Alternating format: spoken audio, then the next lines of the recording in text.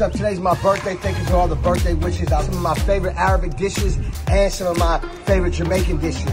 Uh, first off, is my favorite Arabic dish is called maqlube.